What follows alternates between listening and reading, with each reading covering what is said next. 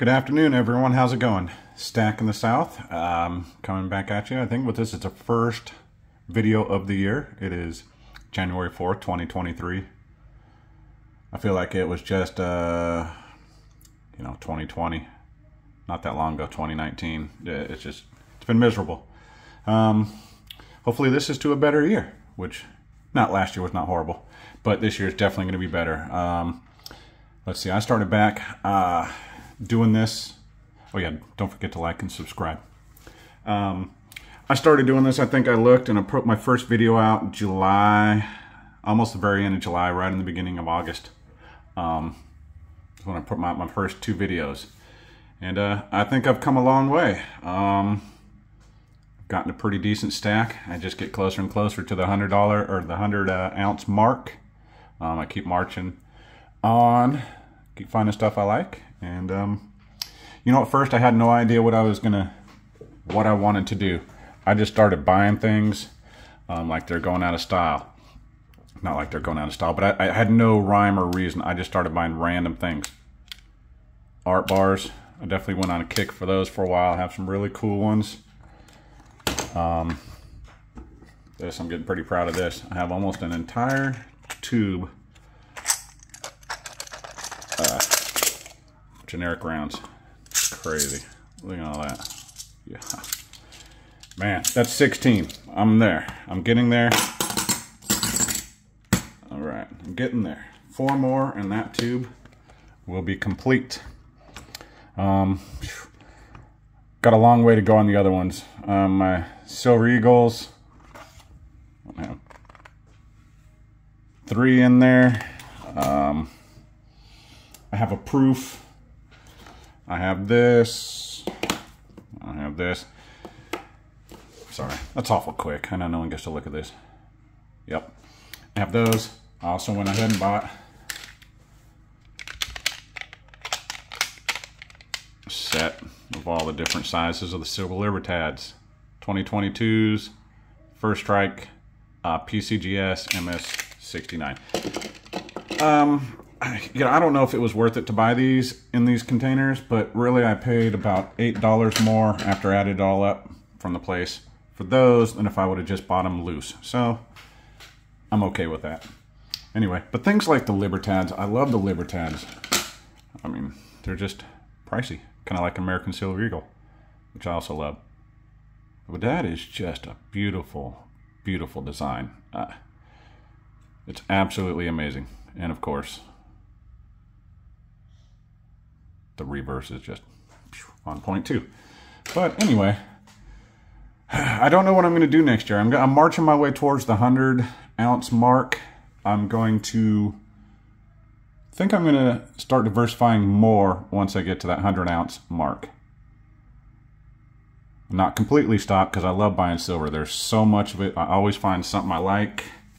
Um, hold up. I'm going to put on some gloves. All right. Thank you for the pause button. Anyway, gloves, good to go.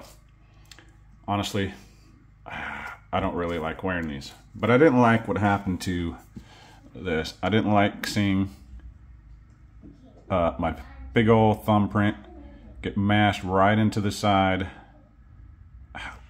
less than two weeks after I had it. So I decided when I buy coins like this, God, the milk spotting on this is insane. Um, it did not look like that when I bought it. But I decided when I'm going to touch shiny silver that I like like that a lot, I'll probably just put on gloves. So this, I went to the LCS today and picked this up. I walked in there and almost all, it was like half empty. I couldn't believe it. I looked at the guy and he looked at me and I looked at him puzzled. I said, like, where is everything? Apparently there's some sort of a thing that they sent all their stuff to, and there wasn't much left. But I did, uh, I did manage to find this little gem with some toning on it. I love this stuff right here. It almost looks like it was heated. I, I'm not sure. Hopefully it wasn't. But um, yeah, I picked this one up today. Um, I'm getting a little collection of Canadian uh, silver going on. Yeah, that's awesome. I can't wait to see what this one does over time. This is a 2017. Yep. All right, that's good stuff. So things like that, I'm not going to necessarily touch. Let's see. What else do I have this Canadian? I have a couple maples. This one's got some nice toning going on in the original mint packaging. I won't be taking it out of there. I do really like that picture with the Queen on this one. 1989. Wow. Forgot it was that old. Got this one too. Eh, maybe a wee bit of toning on this one. Let's see, what year is this?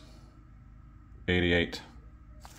Yep, let's see. Uh, really, only one maple. Just one maple down there loose. Everything else has like a package already, so I'm not sure. Uh, and then this, this beast, the two ounce werewolf. Yeah, I need to get a new um, capsule. I don't know what happened to this one. Um, I think I tried to stuff it in my box a little too hard and it cracked. Oops. Um, yeah, so I really like the Royal Canadian Mint Silver. It's outstanding. So moving forward, I'm going to continue to pile up the silver. And I think I've decided that yes, I'm going to buy some other stuff on the side. I don't really buy that much because I'm still having fun with the silver and I just want to get to a point I'm going to buy a lot more platinum. I'm stock up on platinum. I have a feeling platinum is going to go up pretty pretty good at some point. Probably not too distant future. But for now, I'm going to continue to buy generic rounds, silver generic art bars, government coins, American or otherwise. Now, American Silver Eagles, yeah, I'm going to keep buying them. Who am I kidding? Um, Libertads, and so on and so forth. And anything else that catches my eye. It's, I know I should be buying weight. I should be buying bars, five, 10 ounce bars. But I, I, I honestly can't afford to buy three, four, five of those at a time. And I feel like uh, my videos would be boring if all I had was just some you know, five to 10 bars, five to 10 ounce bars that was just, I feel like this stuff is way more fun to look at. Anyway, this is obviously not Canadian. Thank you. Hopefully you made it this far. If you did, ah, I really appreciate y'all. Thank you. Have a great day. And I hope your new year is everything you hoped it is. Thank you. Bye.